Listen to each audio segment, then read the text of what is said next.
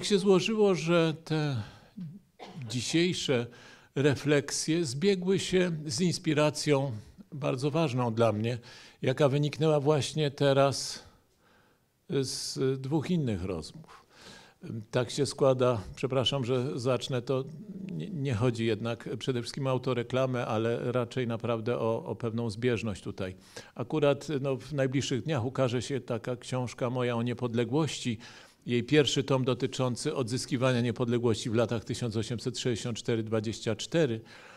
Natomiast y, mam nadzieję, da Bóg, że niedługo w maju powinien się ukazać tom drugi zupełnie na innej zasadzie, oparty na zasadzie rozmów tych wcześniej przeprowadzonych z ludźmi, którzy odbudowywali polską niepodległość, walczyli o nią w ostatnich 50 czy 60 latach, od Jana Olszewskiego, Janny Walentynowicz poczynając. Ale właśnie dodałem do tego cztery nowe rozmowy e, z prezydentem e, Andrzejem Dudą, z panem ministrem Antonim Macierewiczem, z panem premierem Mateuszem Morawieckim i e, z księdzem arcybiskupem Markiem Jędraszewskim. I właśnie te dwie rozmowy ostatnie odbyły się ostatnio. Rozmowa z panem Mateuszem Morawieckim, którą miałem okazję odbyć 19 lutego, e, dosłownie kilka godzin po telefonie, jaki pan premier e, miał nieprzyjemność odebrać od premiera Izraela Benjamina Netanyahu. Mm, ta rozmowa dotyczyła, e, że tak powiem, rodzinnej tradycji niepodległości w rodzinie mm, państwa Morawieckich, ale dotyczyła także tego, o czym dzisiaj mamy mówić, czyli gospodarki i właśnie połączenie tych dwóch aspektów, to znaczy niezwykle głębokiej siły patriotyzmu, zakorzenionego w doświadczeniu i rodzinnym, i własnym. E, e, zrobiła na mnie ogromne wrażenie. To znaczy, myślę, że wszystko oczywiście zawsze może się zdarzyć, ale, ale myślę, że, że mamy w tej chwili e, kierownictwo rządu, tak jak poprzednio mieliśmy znakomitą panią premier. Teraz mamy w pewnym sensie w jeszcze mocniejszych rękach i pewnych e, ten ster rządów e, i w dodatku w rękach wprawionych w poruszaniu się e, w świecie gospodarki. To, co mnie uderzyło w tej rozmowie i do tego właśnie chcę nawiązać, to niezwykle krytyczna ocena dokonana przez pana Mateusza Morawieckiego, przypomnę, mojego kolegi historyka, kolegi wszystkich historyków, ponieważ jest absolwentem Uniwersytetu Wrocławskiego.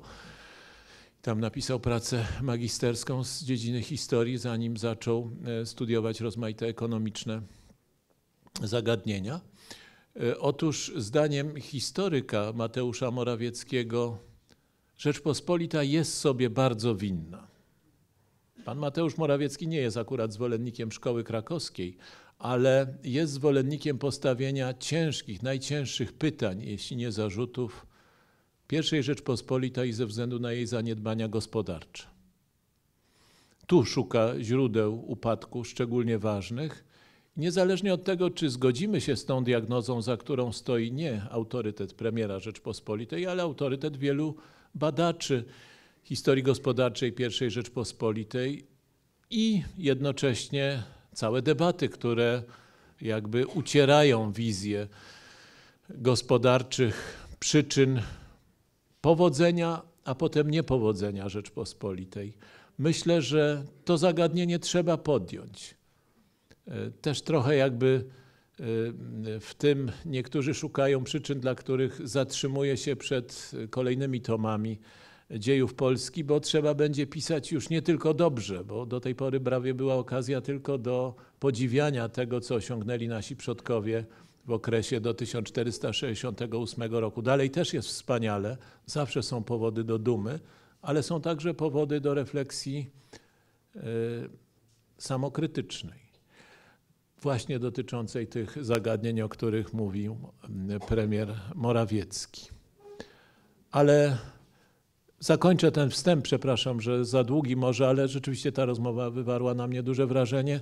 Nawiązaniem do drugiej rozmowy, którą miałem okazję tydzień temu odbyć y, z księdzem arcybiskupem metropolitą Markiem Jędraszewskim, bo ona ustawia te zagadnienia tak samo, jak robił to Mateusz Morawiecki. Są sprawy dużo ważniejsze od gospodarki. Gospodarka jest bardzo ważna, nie wolno jej lekceważyć, ale jest coś od gospodarki ważniejszego i tym jest właśnie chrześcijańska perspektywa widzenia dziejów narodu, dziejów ojczyzny. E, to rozumiał doskonale premier Morawiecki, ale najpiękniej, najmądrzej wyraził arcybiskup Jędraszewski. E, jego refleksje myślę, że będą niezwykle przydatne przy naszym Dabuk spotkaniu w kwietniu, kiedy będziemy mówili o znaczeniu ofiary. Bo to właśnie chrześcijaństwo daje nam na ofiarę, na martyrologię tak wyszydzaną ostatnich kilkudziesięciu latach, zwłaszcza w okresie trzeciej RP, perspektywę najwłaściwszą. A więc ofiara, gospodarka, republikanizm, wolność obywatelska i niewydolność ekonomiczna. Jak to wszystko połączyć? Jak to razem zrozumieć? Czy trzeba odrzucić jedno, żeby wybrać drugie? To są bardzo trudne pytania, przed którymi każdy, kto próbuje zrozumieć dzieje Polski, musi w końcu stanąć. Zaczynam jednakże od momentu, w którym Polska, jak to nawiązując do teorii modnych od drugiej połowy XX wieku się zwykło określać, zaczęła doganiać. Doganiać najbardziej dynamicznie rozwijającą się część e, kontynentu europejskiego, czyli Zachód, południe właściwie i Zachód. Stopniowo przenosił się ten ośrodek, można powiedzieć, modernizacji nowoczesnej gospodarki na północ, z południa, z Włoch, poprzez Francję, zachodnie Niemcy do Holandii, do Anglii. Ale właśnie, jak pamiętamy, y, pozwolę sobie przypomnieć, y, o tym pisałem obszerniej właśnie na początku trzeciego tomu, Czarna Śmierć dżuma, która przetoczyła się głównie przez Europę Zachodnią, a oszczędziła bardzo Polskę, sprawiła, że no w pewnym sensie ta klęska żywiołowa, straszliwa, pomogła troszkę dogonić wtedy w XIV-XV wieku, początkach XV wieku Europie Środkowo-Wschodniej, nie samej Polsce tylko, ale także Czechom, Węgrom, poziom, powiedziałbym, dynamiki gospodarczej i udział w całej strukturze gospodarczej europejskiej związany z tym także udział, w, y, jeśli można tak powiedzieć, w strukturze wymiany kulturowej w Europie bardzo się podniósł y, w odniesieniu do całego naszego regionu. No bo tam wyludnienie, tam klęska, e, tutaj e, właśnie i demograficzny wzrost następował, a bez niego, bez tego 500, plus, bez następnego pokolenia, bez jego odtwarzania, niestety żadne społeczeństwo rozwijać się nie może wtedy ta demograficzna e, katastrofa dotknęła kraje zachodnie bardziej wskutek dżumy, a tutaj w Polsce, na Litwie, w Czechach, na Węgrzech działo się pod tym względem dużo lepiej. Ale to, co było dobrodziejstwem wtedy, w pewnym sensie dla naszego regionu, e, to, że potrafili władcy tego czasu, zarówno w Polsce, jak i w Czechach, jak i na Węgrzech, wykorzystać ten moment do znakomitego zagospodarowania właśnie tej szansy, stanie się już wkrótce potem bardzo dużym znakiem zapytania nad przyszłością naszego regionu. O tym za chwileczkę powiem. O nieoczekiwanych, odłożonych w czasie, paradoksalnie pozytywnych dla Zachodu, a niekorzystnych dla naszej części kontynentu skutkach czarnej śmierci. Ale teraz jesteśmy jeszcze w XIV wieku i to jest ten moment, kiedy właśnie mądrze państwo, jego przywódcy, czyli królowie, czyli władcy i ich doradcy potrafią wykorzystać szansę doganiania najbardziej rozwiniętych części Europy. W oparciu o jakie, y, jeśli można tak powiedzieć, poczynania, o jakie decyzje. Otóż wydarzenie, do którego dzisiaj nawiązuje e, ustanowienie nowego statutu żub solnych w Bochni i Wieliczce, najważniejszego przedsiębiorstwa państwowego w Koronie, w całym państwie Jagiellonów, yy, przepraszam, Piastów jeszcze w 1368 roku. yy, poprzedzone było innymi, równie przemyślanymi, a składającymi się razem ze statutem e, żub e, krakowskich, jak wtedy mówiono, obejmując tą nazwą i Wieliczkę i Bochnię, e, przedsięwzięć. Otóż pierwsze te przedsięwzięcia to próba uporządkowania systemu monetarnego. Potrzeba mieć jedną własną monetę, o której sami decydujemy. Suweren. To jest podstawa suwerenności mieć własną walutę, silną, stabilną. W przypadku Polski, dopiero co złożonej z dwóch tylko dzielnic, Wielkopolski i Małopolski, po rozbiciu dzielnicowym przez, yy, przez Łokietka to złożenie zostało dokonane i to była wciąż krucha, słaba budowla. Osiągnięcie stabilnej monety było niesłychanie trudne, właściwie niemożliwe.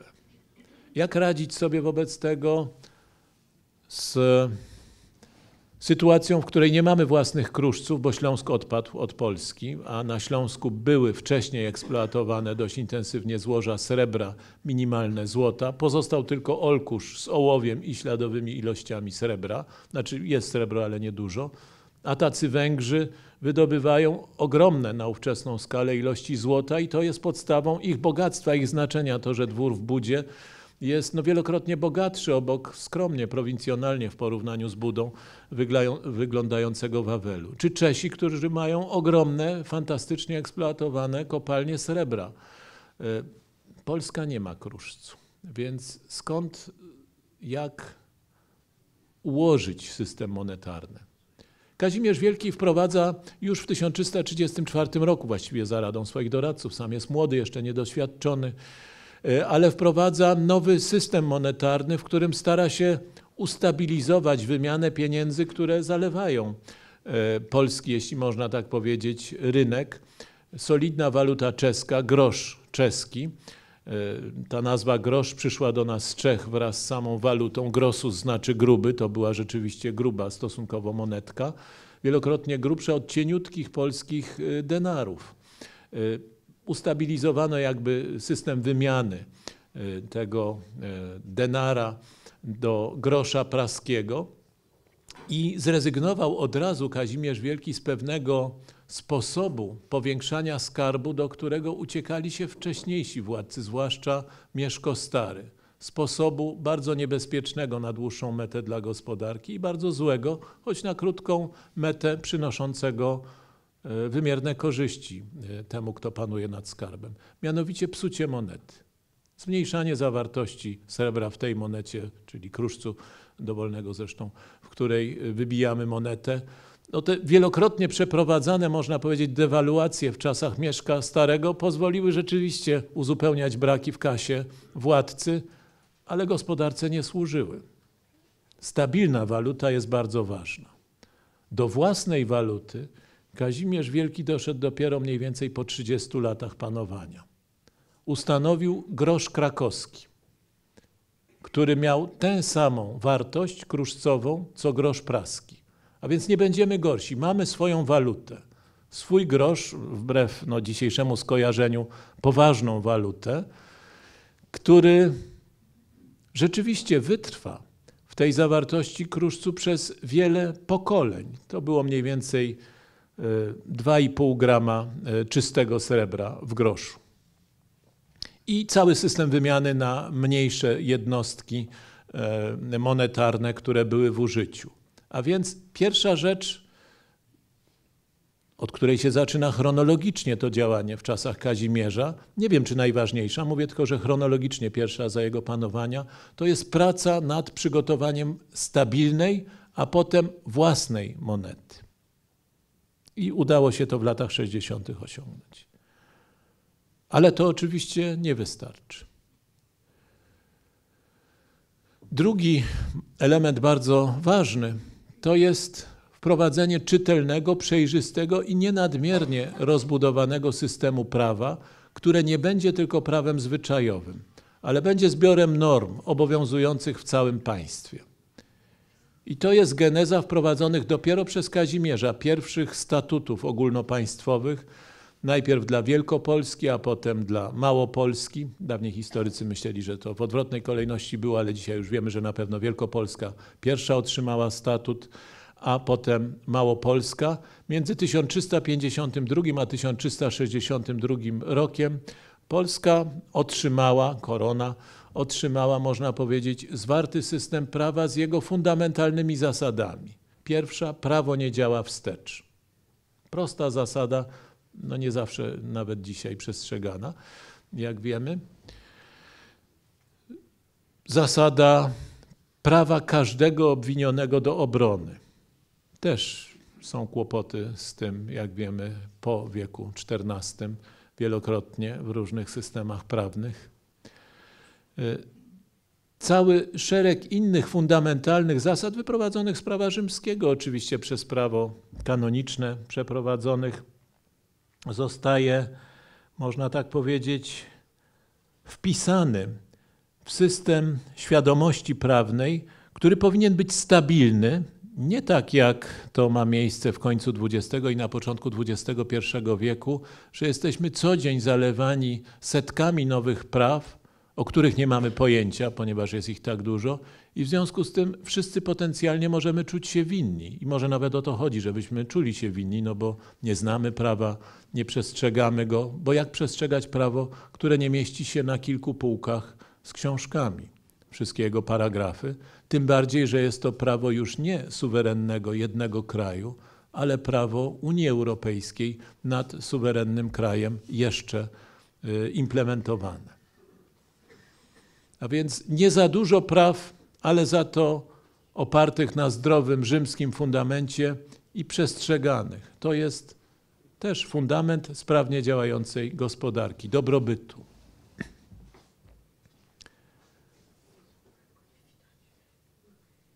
Trzecim elementem dopiero stało się zreformowanie przedsiębiorstwa państwowego numer jeden w Koronie, czyli właśnie żub solnych. Przypomnijmy, eksploatowane były od końca XIII wieku, najpierw w Bochni, potem w Bieliczce.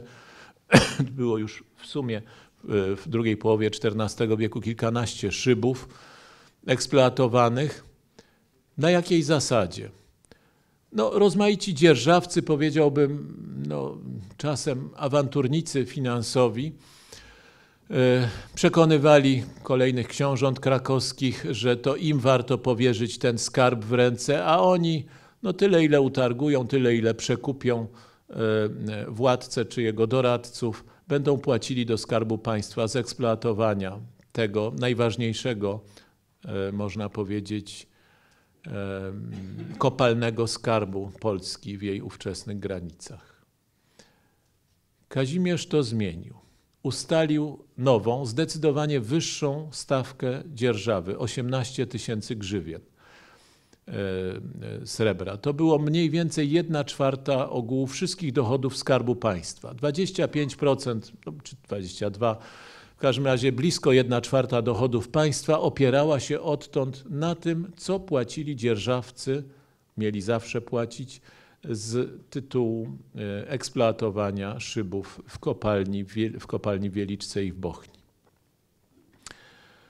A więc stała wysoka, nie zaniżona jak wcześniej wielokrotnie było i nie oparta o e, no, właśnie jakąś samowolę połączoną z korupcją, E, próbę wykorzystania tego skarbu do prywatnych celów przedsiębiorców, którzy przejmują kontrolę nad nim, ale w oparciu o dobro skarbu państwa ta zasada sprawi, że kolejne grupy czy przedsiębiorcy podejmujący to zadanie czasem będą w trudnej sytuacji, żeby się wywiązać z tych 18 tysięcy grzywien. To było bardzo trudne zadanie, bardzo dobrze gospodarować tymi skarbami, żeby uzyskać tak wysoki przychód, pozwalający odprowadzić do skarbu określoną bardzo wysoką kwotę. To jest znów niezwykle ważne zagadnienie, które znalazło odzwierciedlenie we wprowadzonym w 1368 roku statucie. Ale nie tylko to.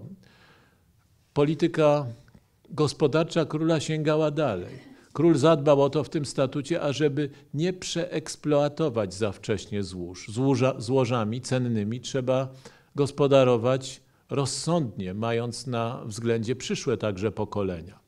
A więc wyznaczył król, czy raczej jego doradcy, bo z pewnością król e, tego prawa nie pisał, tylko zatwierdził je, e, uznał jego potrzebę W każdym razie w statucie ustalono, że jest tylko określony czas eksploatowania szybów od świętego Michała do Zielonych Świątek albo od świętego Marcina do Zielonych Świątek, czyli tylko jesień, zima i wiosna.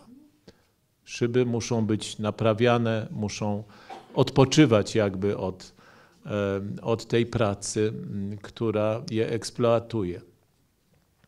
Zadbał także autor statutu o to, ażeby zaopiekować się weteranami pracy. Nie tak, że górnik pracuje, a potem się go wyrzuca i niech zdycha, żyje z tego, co zarobił. Nie, nie.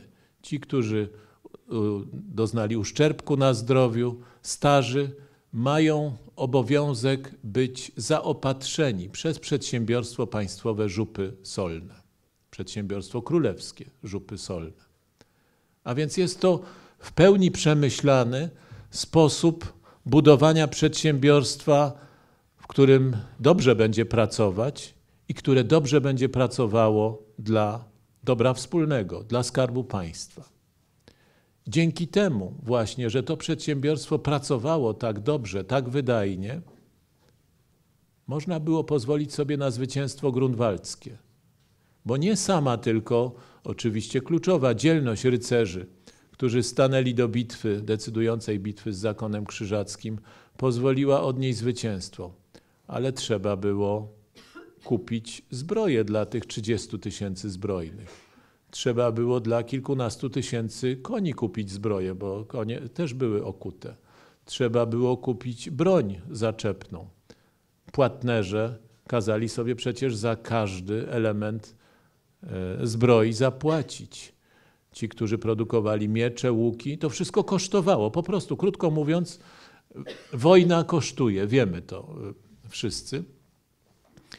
I żeby wygrać wojnę z poważnym przeciwnikiem, dysponującym znakomicie zorganizowanym e, skarbem, suto zaopatrzonym nie tylko z terenu niewielkiego państwa zakonnego, ale z kilkudziesięciu bajliwatów, czyli takich, no, można powiedzieć, e, komandorii inaczej, na terenie całej Europy Zachodniej i Południowej, czerpali zyski.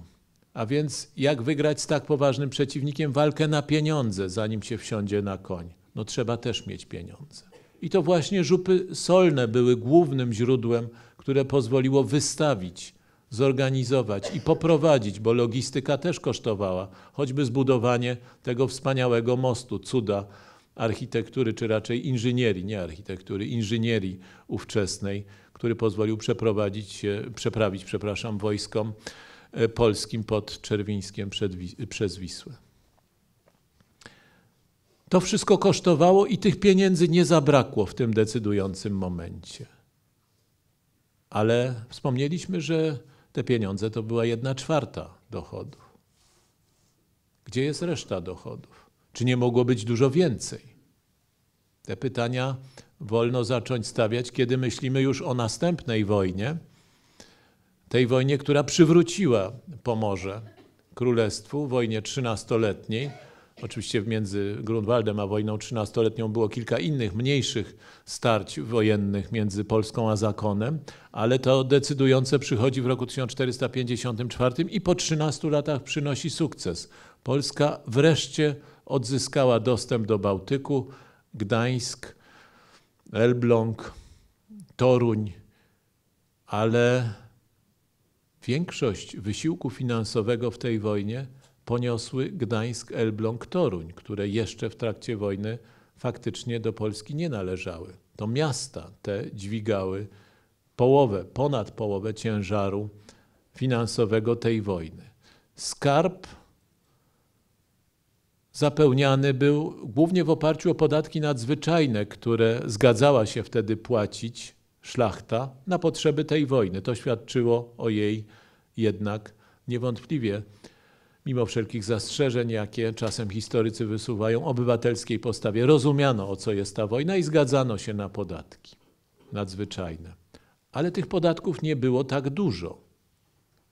Tu dam jeden przykład, który obrazuje różnicę obciążenia podatkowego między Polską a innymi krajami europejskimi nieco później, już w XVIII wieku, do którego mam nadzieję zdążymy dojść w tym wykładzie Mniej więcej szacuje się, że w Polsce, w Rzeczpospolitej, to obciążenie było 35 razy mniejsze niż w Holandii na osobę. 31 razy mniejsze niż w Anglii czy w Wielkiej Brytanii już wtedy. Dwudziestoparokrotnie mniejsze niż we Francji, dziewięciokrotnie mniejsze niż w Szwecji, sześciokrotnie mniejsze niż w Austrii czy w Rosji, czy w Prusach. I to był powód, dla którego Prusy, które były w XVIII wieku, przed oczywiście rozbiorami, znacznie mniejszym państwem od Rzeczpospolitej, mogły wystawić 200 tysięcy żołnierzy, utrzymywały taką armię, a Rzeczpospolita mogła wystawić 17-20 tysięcy żołnierzy, będąc kilkakrotnie większym ludnościowo państwem i na pewno bogatszym. Ale podatki były niskie, bardzo niskie. Ktoś może powiedzieć, no to właściwie dobrze, no nie chcemy płacić dużych podatków. To właśnie lepiej było w Rzeczpospolitej, prawda, niż w takiej okropnej Holandii, gdzie śruba podatkowa była tak e, mocno przykręcona, czy gdzieś w Anglii. I tu dochodzimy do pytań, dla których nie ma łatwego rozstrzygnięcia. Pytań, które stawiają nas przed wyborem wartości. Bo z jednej strony stoi wolność indywidualna, z drugiej strony stoi odpowiedzialność za państwo. Jak łączyć te dwie wartości? To jest cała filozofia polityczna, która rozciąga się od pełnego liberalizmu, który za cel stawia sobie ostatecznie wyzwolenie od państwa po prostu. Ideałem jest niepłacenie żadnych podatków, prywatyzacja wszystkiego, do skrajnego etatyzmu. No, Prusy lokowałyby się blisko tego drugiego, w cudzysłowie, ideału. Jakie tu znaleźć rozwiązanie, prawda? Otóż Rzeczpospolita tradycyjnie była słabo obciążona podatkami, a też jej bogactwo nie było tak duże, by nawet podatki średnie, nie najmniejsze, ale średnie mogły przynieść tyle, ile przynosiły podatki właśnie w Holandii, Anglii czy we Francji. I tu dojdziemy do pytań dalszych. Dlaczego tak było? Skąd się to wzięło? Ale wróćmy do kwestii związanych jeszcze z panowaniem Kazimierza Wielkiego, zanim z powrotem na te pytania będziemy próbowali odpowiedzieć. Otóż Kazimierz Wielki no w takim najpowszechniejszym chyba odbiorze znany jest jako król chłopków czy chłopów. Raczej nic nie usprawiedliwia tego określenia, nic specjalnego, ani złego, ani dobrego y, dla chłopów nie zrobił. To jest kompletna legenda i jako król sprzyjający Żydom. Tutaj oczywiście towarzyszy temu powszechnie znana legenda o Esterce. Najprawdopodobniej jednak y, no, takiej konkretnej osoby nie było, co nie znaczy, że wśród bardzo licznych y, miłostek y, króla Kazimierza jakaś Izraelitka nie mogła się trafić.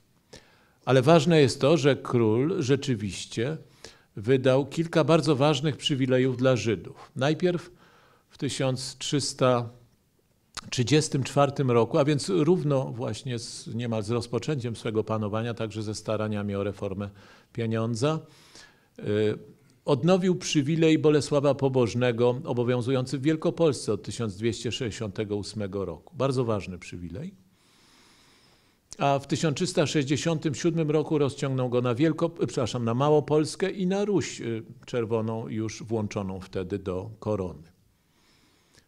Przy okazji nastąpiła drobna zmiana w tym przywileju w stosunku do oryginału, który wystawił Bolesław Pobożny 100 lat wcześniej. A mianowicie Żydzi otrzymali prawo udzielania pożyczek pod zastaw nieruchomości.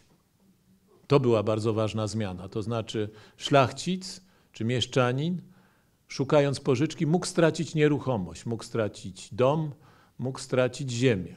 Wcześniej tego nie, nie, nie wolno było robić. W 1423 roku e, szlachta e, wymorze na królu, na Władysławie Jagielle te, zmianę tego postanowienia z czasów Kazimierza Wielkiego. Znów nie będą mogli Żydzi formalnie w każdym razie e, udzielać pożyczek pod zastaw nieruchomości. Dlaczego zatrzymuję się przy tym zagadnieniu? Bo to jest jedno z najważniejszych zagadnień gospodarki I Rzeczpospolitej.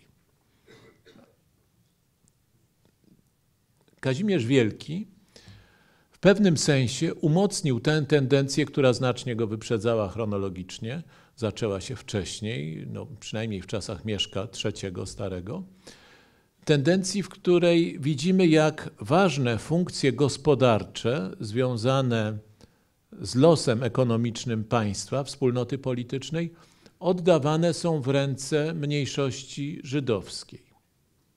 Bo to było wygodne dla króla i to było wygodne właściwie także dla szlachty, stanie się wygodne dla szlachty.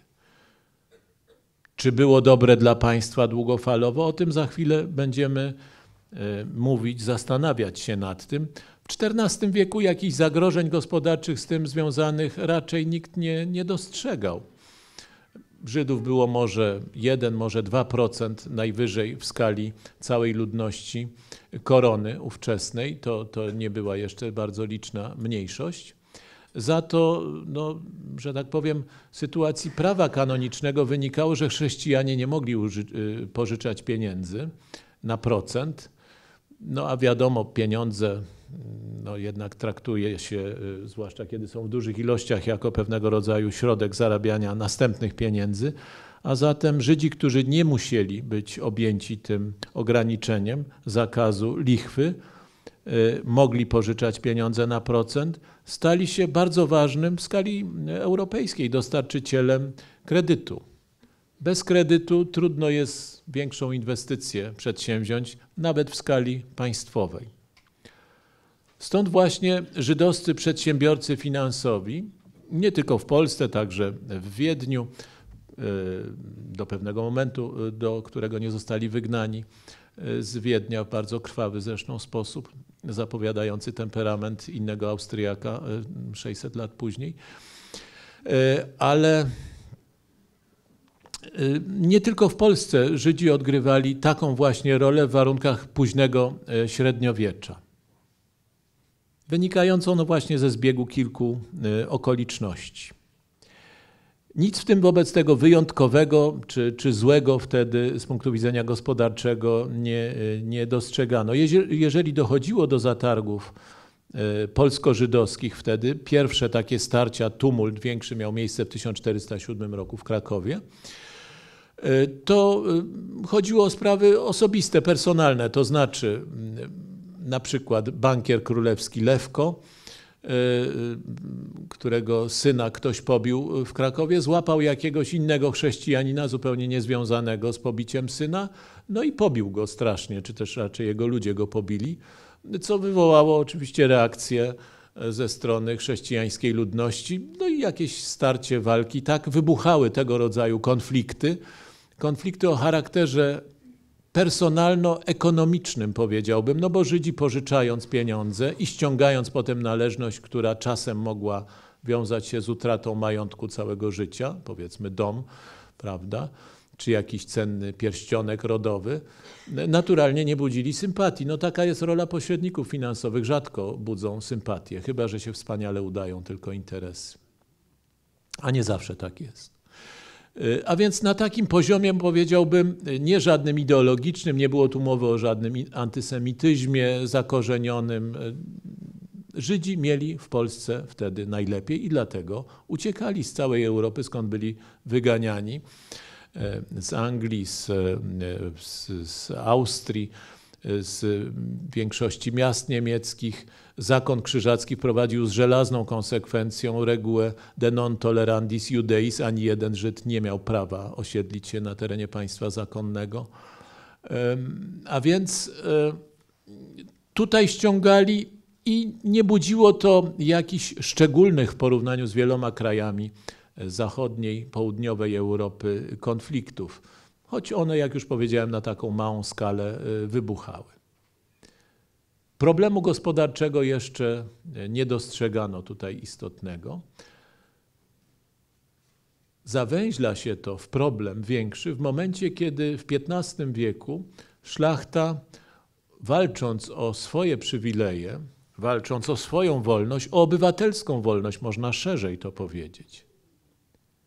O wolność dysponowania nie tylko swoim majątkiem, ale swoim prawem głosu w sprawie obciążeń finansowych dla państwa. Szlachta to dla siebie zawarowała, że żadnych nowych podatków bez zgody reprezentacji szlacheckiej nie można wprowadzać. A więc ograniczono ten, można powiedzieć, tę możliwość powiększania bogactwa kraju przez fiskalizm ze strony króla. Szlachta będzie mogła spychać niejako ten obowiązek, czy, czy tę potrzebę często kraju, budowania jego obronności mm, przy pomocy pieniędzy, wzmacniania tej obronności na innych, prawda? Bo sama będzie powoływała się na fakt, że szlachta służy Rzeczpospolitej, służy koronie, służy Polsce własną osobą, na koniu, z mieczem w ręku. A więc jeszcze obciążenie finansowe, no to to minimalne, dwa grosze złana, na które w Koszycach zgodził się król Ludwik Węgierski, prawda? A więc inne podatki tam, prawda, związane właśnie z cłami, z rozmaitymi miejskimi, przepraszam, opłatami miały e, ten dochód uzupełniać. No i kredyt, właśnie pozyskiwanie kredytu. W krajach Europy Zachodniej w tym czasie, czyli w XV wieku już, następuje stopniowa w niektórych krajach zmiana polegająca na tym, że władcy szukając oparcia, wzmocnienia dla swojej indywidualnej potęgi, e, szukali przeciwwagi dla wpływów rycerstwa przemieniającego się w szlachtę w miastach. A miasta rosły w siłę rosły w siłę z dwóch powodów, które w Rzeczpospolitej, w, w koronie wtedy nie występowały w XV wieku. W XV wieku bowiem zaczynają o sobie dawać znać w drugiej jego połowie i na początku XVI wieku paradoksalnie pozytywne konsekwencje czarnej śmierci w zachodniej Europie. Ubyło dużo ludności, prawie jedna trzecia ludności ubyła wskutek czarnej śmierci w zachodniej Europie, a zatem co jest największą wartością? Nie ziemia. Człowiek staje się największą wartością w sensie ekonomicznym. No, jest mniej ludzi, dużo pracy, to w takim razie ten potencjalny pracownik może no, w pewnym sensie dyktować warunki to za mocne słowo, ale w każdym razie trzeba o niego zabiegać.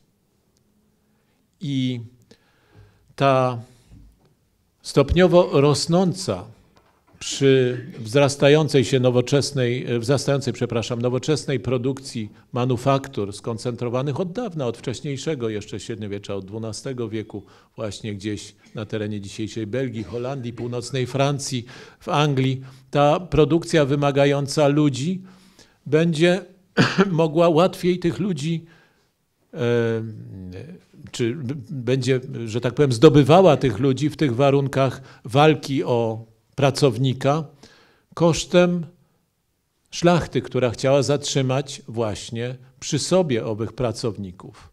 Miasta ścierają się swoimi wpływami, swoją siłą ekonomiczną ze szlachtą i stają się rzeczywiście realną przeciwwagą, którą królowie mogą wykorzystywać przeciwko dążeniom szlachty do zagwarantowania sobie przywilejów takich jak w koronie, jak w Rzeczpospolitej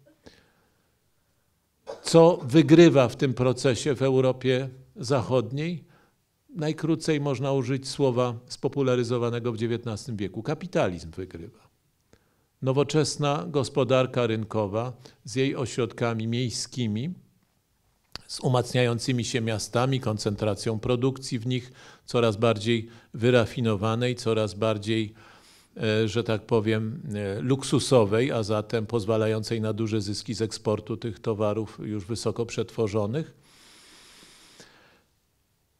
ale niekoniecznie wygrywa wolność obywatelska, republikańska, bo jest często coraz mniej republik, coraz więcej autokracji królewskiej opartej na symbiozie z interesami ekonomicznymi miast, z ograniczeniem dążeń republikańskich, czy jeśli nie użyjemy tego słowa, to wolnościowych, szlachty. W Polsce ten proces idzie w odwrotnym kierunku. Szlachta zdobywa coraz więcej miejsca dla wolności obywatelskiej, ale traktuje jako zagrożenie dla tej wolności możliwość wzmocnienia miast, a więc strzeże zazdrośnie tej wolności i wprowadza stopniowo prawne ograniczenia, które wykluczają miasta z udziału w procesie politycznym. Separuje jakby coraz bardziej stan szlachecki, czyli stan polityczny, od stanu mieszczańskiego, niepolitycznego, gdzie można zarabiać, ale w sprawach politycznych nie ma się głosu. Z zarabianiem też jest problem, żeby to zarabianie nie wpłynęło negatywnie na stan majątków szlacheckich, to zarabianie mieszczańskie. I ten proces wprowadza rzeczywiście pewną różnicę modelu, jeżeli można tak powiedzieć, polityczno-rozwojowego Rzeczpospolitej, do pewnego stopnia podobnie było na Węgrzech, i w Europie Zachodniej. To wtedy się niewątpliwie nasila to zjawisko. Czy powiemy, że nasz model, że tak powiem, środkowo-wschodnioeuropejski był gorszy? Był bardziej wolnościowy, na pewno, ale osłabiał w dłuższej perspektywie potencjał gospodarczy, który w warunkach zmieniającej się gospodarki, przenoszącej ciężar swój do miast, sprawiał, że ten region nie będzie łatwo mógł dalej doganiać Europy Zachodniej. Narzucą się na to jeszcze inne okoliczności, powiedziałbym, szczególne, a mianowicie odpływ e, ludności do miast, większy w Europie północno-zachodniej niż w naszej części Europy, szybki rozrost ośrodków miejskich takich jak Londyn, Amsterdam, Paryż czy dziesiątki innych mniejszych miast których koncentrowała się produkcja wczesnoprzemysłowa wtedy w końcu XV-XVI wieku, sprawił, że potrzeba więcej żywności niż mogła wyprodukować wieś francuska, belgijska. E, no słowa Belgia nikt wtedy nie używał, nie było takiego kraju, e, ale w każdym razie mam na myśli Niderlandy e, czy angielska. A zatem rodzi się zapotrzebowanie na import zboża. I to właśnie koniec XV, początek XVI wieku jest okresem, w którym zostają stworzone, można powiedzieć, w sposób niezaplanowany przez nikogo, warunki do rozkwitu gospodarki folwarcznej e, w, w Rzeczpospolitej, w Koronie.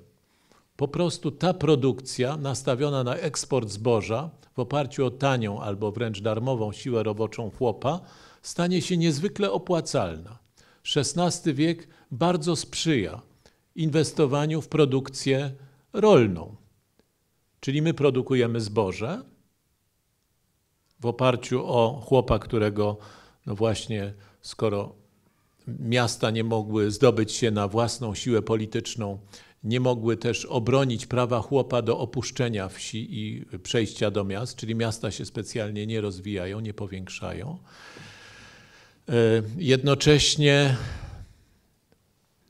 opłaca się ta produkcja rolna, więc chłop zatrzymany przy ziemi i obwarowywany coraz to nowymi prawami, które szlachta sama sobie przyznaje, by chłop nie mógł opuścić ziemi. Od początku XVI wieku te prawa są wprowadzane. Praca na pańskim, początkowo mierzona liczbą kilku, kilkunastu dni w roku, stopniowo zaczyna być mierzona liczbą dni w tygodniu w niektórych miejscach, regionach, e, przynosząc pod koniec XVI wieku obciążenia rzędu 5, 6, a czasem nawet więcej niż 7 dni w tygodniu e, pracy na pańskim. Z czego to wynikało? No, kobieta mogła pomóc, prawda? Czy, czy małoletni członkowie rodziny chłopskiej mogli pomóc w tej pracy na nie swojej działce, nie przez siebie dzierżawionej działce. Czy to oznaczało jakiś straszliwy wyzysk, niedolę chłopów? Nie, nie, nie, nie, nie to chcę powiedzieć. Nie, to zupełnie nie w tym kluczu, że tak powiem, podręczników z PRL-u chcę to zjawisko, realne zjawisko omówić. Profesor Wyczański, jeden z najwybitniejszych historyków gospodarczych polskich e, ostatnich kilkudziesięciu lat i na pewno najwybitniejszy historyk XVI-wiecznej Rzeczpospolitej, bardzo mocno podważył tę tezę o tym, że chłopi żyli gorzej w Polsce w XVI wieku. Nie, zbadał dokładnie, powiedziałbym, na podstawie dostępnych źródeł, zebrał je wszystkie, e, no można tak powiedzieć, e, jadłospis chłopa w Polsce i porównał z jadłospisem chłopa we Francji, w Anglii w tym czasie. Kalorycznie było tak samo albo lepiej nawet tutaj niż tam, na zachodzie. Więc nie było mowy o jakimś systemowym głodzie, o, czy, czy o jakimś strasznym, no właśnie, upośledzeniu, zgnębieniu indywidualnym chłopa.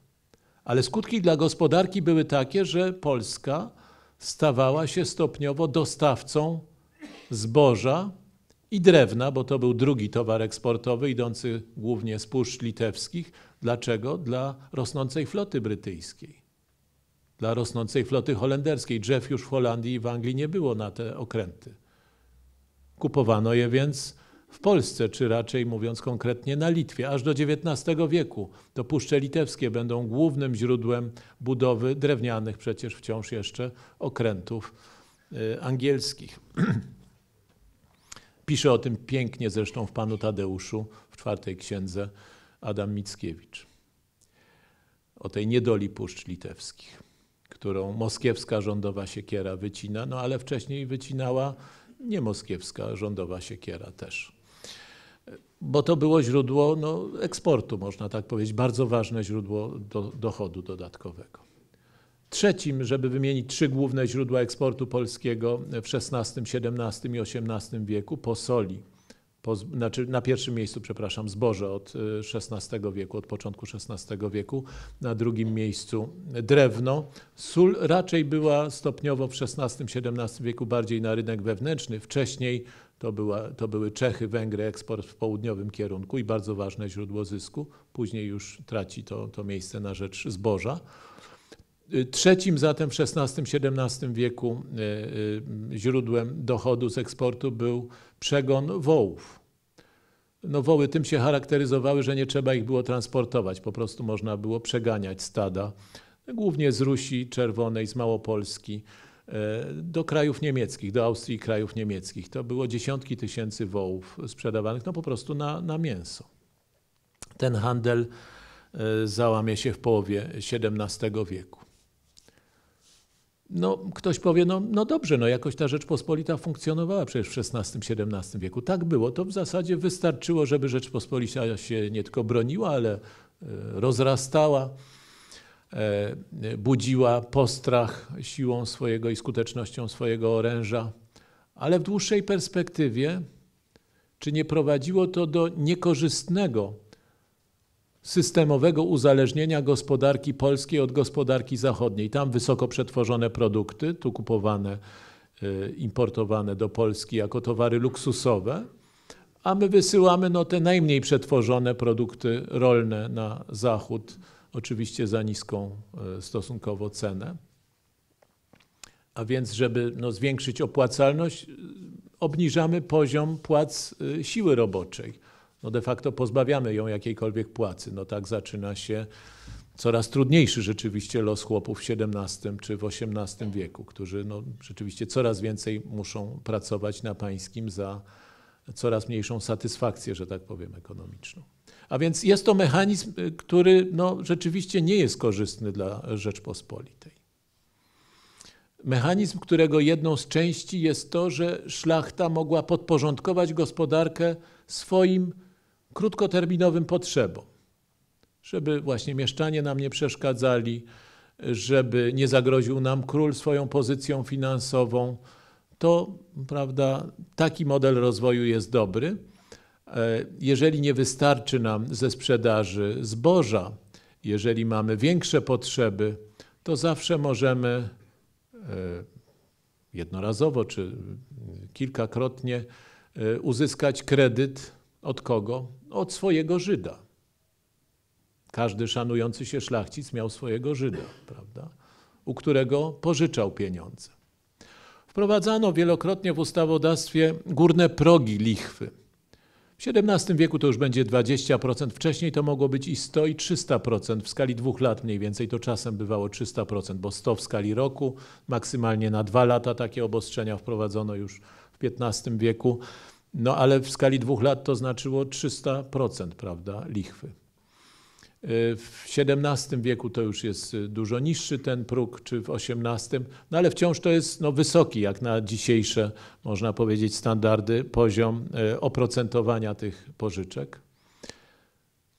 Żydzi jednakże nie tylko pożyczali pieniądze, ale przez to, że no, byli społecznością dość dobrze zorganizowaną, co nie znaczy, że niepodzieloną, bo oczywiście były silne podziały też w społeczeństwie żydowskim, ale dobrze zorganizowaną i umiejącą e, współpracować wewnętrznie, to właśnie kachalne banki, czyli banki tworzone na poziomie kachałów, wspólnot żydowskich, były głównym źródłem, e, można tak powiedzieć, inwestowania kapitału, czy miejscem inwestowania kapitału szlacheckiego. Co szlachcic tam zarobił, prawda, na tych swoich chłopach produkujących zboża, mógł lokować w banku kachalnym na procent rzędu 7-8%. No, różnica między 20%, jakie brał bank kachalny za pożyczenie pieniędzy szlachcicowi, a 7%, jakie wypłacał e, szlachcicowi e, za oddane na przechowanie właśnie do banku kachalnego pieniądze stanowiła zysk, prawda? Normalny zysk operacji finansowej dość duży. I tu pojawia się pytanie stawiane już przez ekonomistów okresu II Rzeczpospolitej, wcześniej nawet, już w XVIII wieku Stanisław Staszic postawi je mocno. A czy nie dałoby się stworzyć własnego systemu kredytowania? jakiegoś alternatywnego. Już w XVI wieku taki system kredytowania, ale nie na dużą skalę, tylko dla ludzi średnio zamożnych albo ubogich, wprowadził kandydat na ołtarze. Mam nadzieję, że niedługo błogosławiony. Ksiądz Piotr Skarga, którego skądinąd zupełnie pamiętamy, ale on założył tak zwane banki pobożnych. Najpierw w Wilnie w 1579 roku, potem w 1581 nie bez myśli o tym, żeby stworzyć jakby konkurencję dla kredytu żydowskiego, żeby chrześcijanie mogli bez lichwy, bo oczywiście banki pobożnych nie pobierały lichwy, no bo to było zakazane dla chrześcijan, mogli pożyczać pieniądze. No nie za duże, no bo skąd było brać te pieniądze, skoro nie robiły one następnych pieniędzy, tylko pomagały w potrzebie finansowej. E, w każdym razie banki pobożnych były jakąś, no można powiedzieć, próbą reakcji na zdominowanie kapitału kredytowego przez, e, no w skali takiej społecznej, przez e, przedsiębiorców finansowych żydowskich, czy przez po prostu te banki kachalne.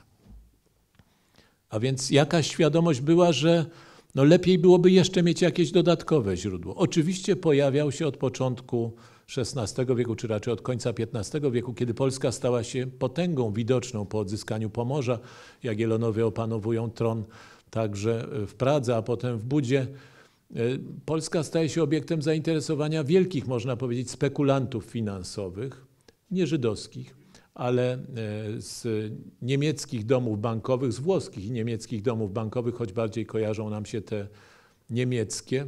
No w Warszawie nie trzeba nikomu e, wyjaśniać nazwiska Fukier, ale ten warszawski Fukier, Jerzy chyba mu było na imię, był ubogim krewniakiem, ten, prawda, E, do którego nawiązuje tradycja mm, restauracyjna na rynku Starego Miasta.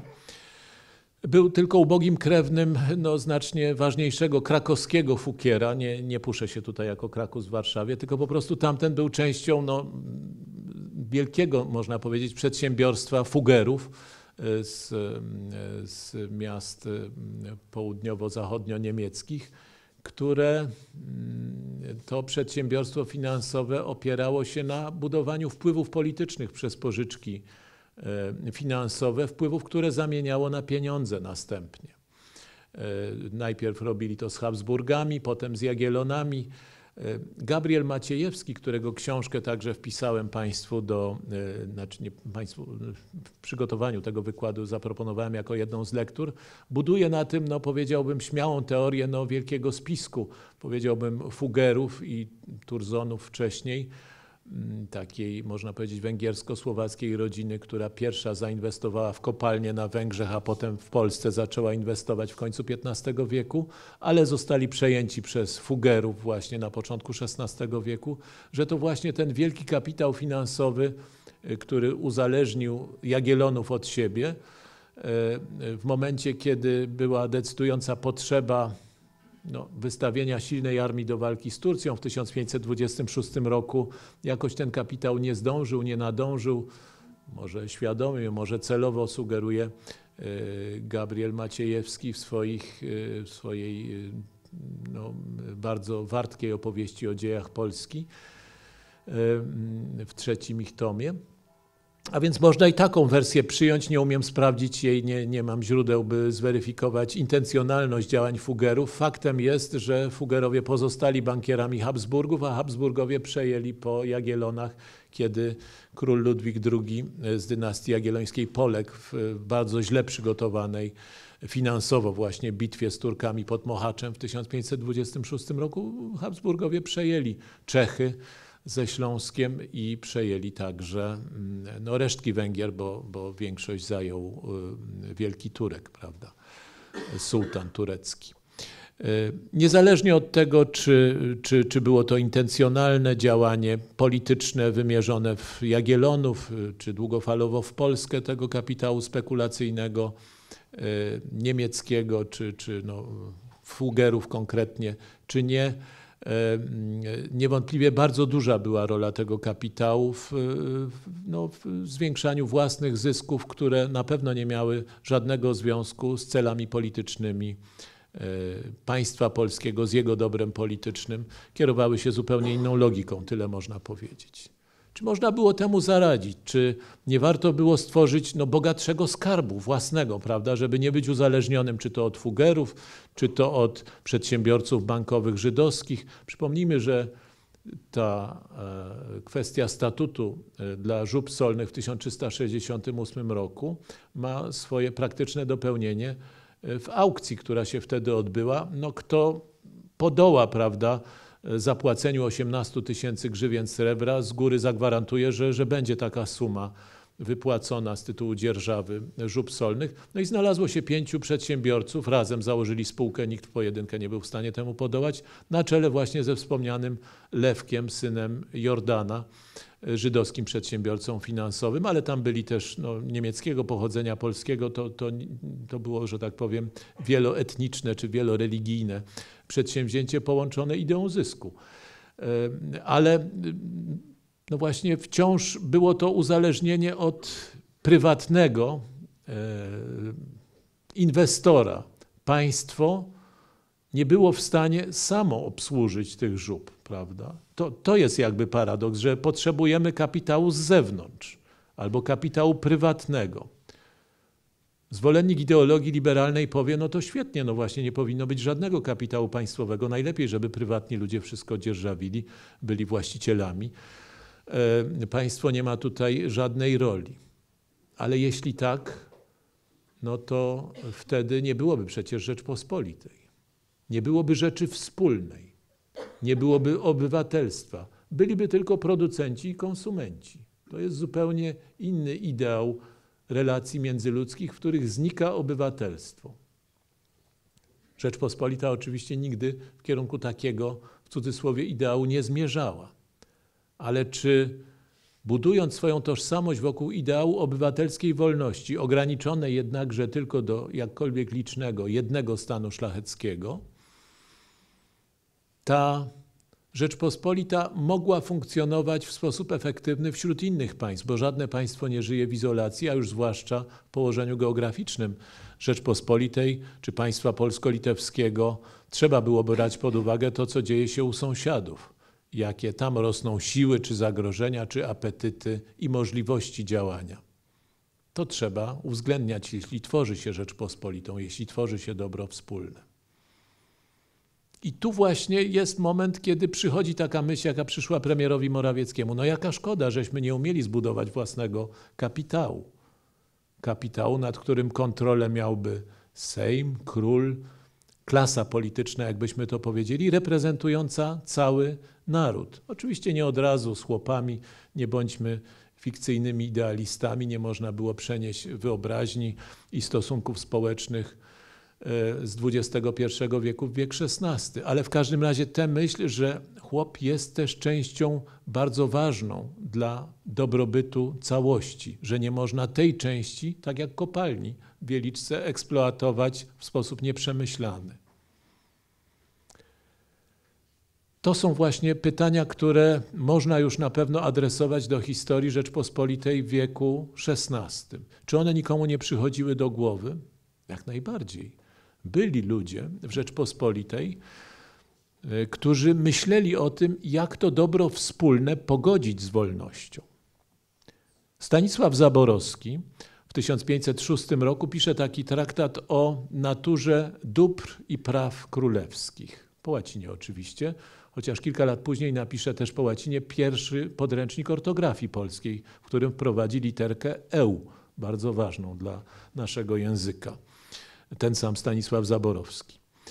Ale w 1506 roku pisze niezwykle ważny traktat, w którym buduje właśnie koncepcję Rzeczpospolitej opartej na prawie, na dobru wspólnym, na tworzeniu wspólnego dobrobytu. A sam kim jest? Sam jest z zawodu, można tak powiedzieć, no chociaż jest księdzem, to ma inną także w pewnym sensie ważniejszą praktycznie funkcję strażnika skarbu królewskiego. On odpowiada za skarb królewski. I on dba o to, żeby ten skarb zapełniać, żeby kontrolować go. I zwraca uwagę na to, że ten skarb się pomniejszył bardzo w XV wieku. Dlaczego? Bo władcy zmniejszyli źródła swoich dochodów, rozdając starostwa, a wraz z nimi majątki zamieszkującymi je chłopami. E, no, w zamian za rozmaite usługi, czy dobra, czy chęć przekupienia, można powiedzieć, różnych wpływowych ludzi w państwie. Szacuje się, że mm, gdzieś to sobie zapisałem, tak, e, w ciągu XV wieku no to było kilkadziesiąt miast i kilkaset wsi, które w ten sposób zostały rozdysponowane przez władców. Wszystko było lege artis. Nie wszystko, właśnie na to zwraca uwagę Stanisław Zaborowski, że w niektórych przypadkach no, powoływali się później mm, ci nowi właściciele ziemscy na fikcyjne zasługi czy fikcyjne tytuły i to trzeba oczywiście zweryfikować. zweryfikować. Trzeba przeprowadzić egzekucję praw i dóbr, praw królestwa i dóbr królestwa, przywrócić to, co zostało, nazwijmy to e, terminologią późniejszą, przez oligarchów rozmaitych, ambitnych rozgrabione, prawda? Wcześniej z wykorzystaniem no, lekkomyślności króla czy, e, czy słabości aparatu państwowego. To jest program, który w, w zalążku jest już postawiony przez Zaborowskiego w 1506 roku i staje się programem bardzo ważnej, światłej grupy politycznej ruchu egzekucyjnego, który w latach 30., 40. dojrzewa do roli, no można powiedzieć, pierwszej zorganizowanej wokół pewnego programu masowej akcji politycznej obywateli w Rzeczpospolitej. Tą akcją jest właśnie przywrócenie państwa jako dobra wspólnego, egzekucja praw i dóbr. W tym biorą udział tysiące osób, y, tysiące przedstawicieli szlachty na sejmikach. Oni nie chcą poprawić losu miast, nie zależy im specjalnie na jakiejś y, weryfikacji y, polityki rolnej, jeśli można tak powiedzieć, ale zależy im na tym, żeby zwiększyć skarb królewski, przywracając choćby ten rdzeń, ten rdzeń dobra wspólnego, który będzie zorganizowany w sposób przynoszący dochody państwu pozwalający wystawić armię, zapłacić za zawodowców, którzy osłonią południowe kresy od Tatarów czy od Turków, czy ewentualnie zadbać o wykorzystanie lepsze północnych rubieży Polski dostępu do Bałtyku. Ten program świadczy o rosnącej dojrzałości, można powiedzieć, politycznej odpowiedzialności tych elit szlacheckich y, średniej szlachty w połowie XVI wieku. I doprowadza on do pewnych bardzo pozytywnych rezultatów w ostatnim dziesięcioleciu panowania Zygmunta Augusta, który także to rozumiał. To panowanie w tych ostatnich dziesięciu latach, nieopisanych do dzisiaj niestety porządnie przez żadnego historyka, najwybitniejsza znawczyni tej epoki, świętej pamięci profesor Sucheni Grabowska napisała znakomitą biografię Zygmunta Augusta, która urywa się na 1562 roku, czyli na momencie, kiedy stał się wielkim władcą e, i, i kiedy zaczyna się jeden z najwspanialszych okresów w dziejach Polski. E, otóż właśnie wtedy na potrzeby wojny inflanckiej, bo Moskwa zaczyna wojnę o dostęp do Bałtyku, wojnę, w której Polska chce nie dopuścić Moskwy o dostęp do Bałtyku. To bardzo ważny był moment, przegranie tej wojny, co stanie się faktycznie no, dopiero kilkadziesiąt lat później. Ta wojna była wygrana, ale powiedziałbym e, jednak Rosja e, po kilkudziesięciu latach otworzy sobie szeroki dostęp do rynków zachodnich. To będzie miało bardzo zły wpływ dla przyszłości politycznej Polski. E, ale wtedy zdawała sobie sprawę szlachta, zdawał sobie sprawę sam król przede wszystkim, że ta walka jest bardzo ważna i że trzeba w nią zainwestować pieniądze. Trzeba mieć pieniądze na wystawienie solidnej armii, która powstrzyma Iwana Groźnego. I wtedy właśnie są nakładane nowe podatki, wtedy są podejmowane reformy, które, które pozwalają na częściową egzekucję praw i dóbr królewskich, które pozwolą zbudować potem funkcjonujące w XVII i jeszcze w XVIII wieku to będzie zwłaszcza przeprowadzone sprawne tak zwane ekonomie królewskie, czyli system folwarków, manufaktur, które razem będą przynosiły dochód dla e, stołu królewskiego, e, ale także część z tego dochodu będzie mogła iść do skarbu państwa bo skarbiec został podzielony na dwie części: dobra stołowe, czyli to, co służy bezpośrednio dworowi królewskiemu, i skarb państwa, który nie służy królowi, ale państwu. Część dóbr stołowych, jedna czwarta mniej więcej, tak zwana kwarta, szła na potrzeby państwowe także. Otóż widać zatem, że są jakieś próby no, godzenia tego systemu wolności bez żadnego kompromisu z duchem, nazwijmy to, liberalizmu czy kapitalizmu w taki sposób, by Rzeczpospolita dalej mogła trwać, bronić się, walczyć o swoje miejsce. Są jednakże dalsze przeszkody. No bo cały handel, cały ten zysk, prawda, e, e, bierze się z eksportu polskiego zboża przez jeden port, przez Gdańsk. I Gdańsk chce korzystać z tego w sposób partykularny, niezwiązany w ogóle z dobrem Rzeczpospolitej. To znaczy dla siebie zachowywać większość tego zysku. Jak to gdańszczanie robią? No nie chcą dopuścić do tego, żeby Polska zbudowała własną flotę. To jest najważniejsze dążenie gdańszczan, żeby Polska nie miała żadnej floty. Najpierw floty handlowej, no bo jak Polska będzie miała swoją flotę handlową, to będzie mogła wywozić gdzie zechce, prawda, to zboże, znaczy, a raczej gdzie zechcą polskie zboże. A tak Gdańsk w pewnym sensie umówił się z Holandią, że Holendrzy przysyłają swoje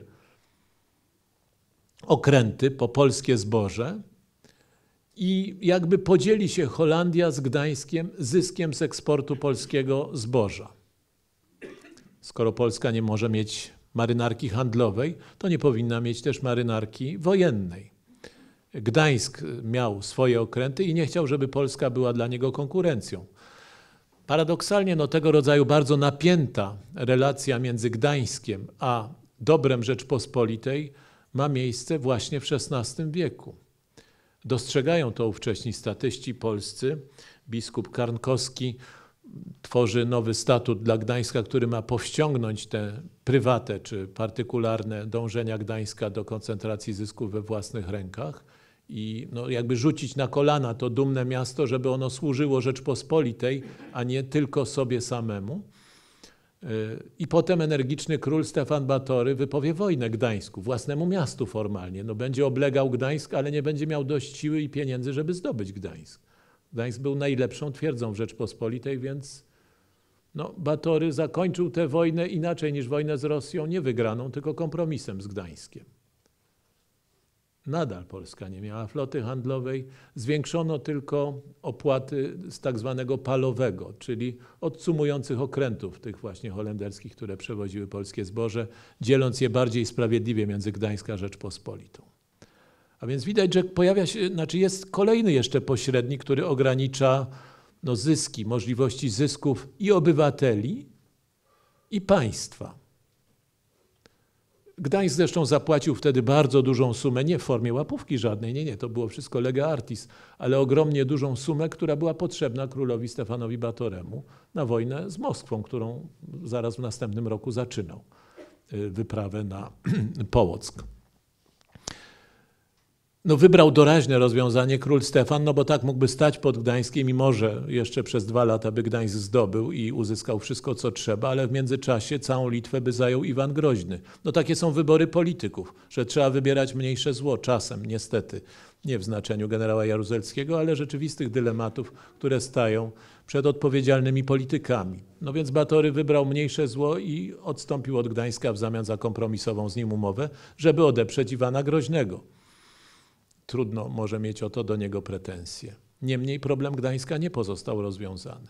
Szlachta była nadal zadowolona, bo eksport zboża szedł, pieniądze z tego eksportu do kieszeni szlacheckich trafiały, ale dużo mniej niż by mogło trafiało do skarbu państwa. Wskutek wspomnianych korzystnych warunków handlu zbożem, e, szczyt tego eksportu następuje w 1618 roku. 120 tysięcy łasztów, czyli mniej więcej ćwierć miliona ton zboża przeszło przez Gdańsk z Polski, z Ukrainy na e, rynki zachodnie, przede wszystkim do Holandii, e, w mniejszym stopniu do Anglii. A więc no, mniej więcej zadowolenie trwa. Polska wtedy wygrywa kolejne wojny z Rosją. E, wygrywa poszczególne bitwy, ale już niestety nie wojny ze Szwecją. Potrafiła odeprzeć ogromną nawałę turecką w 1620 roku pod e, e, Chocimiem, ale czy dalej tak będzie?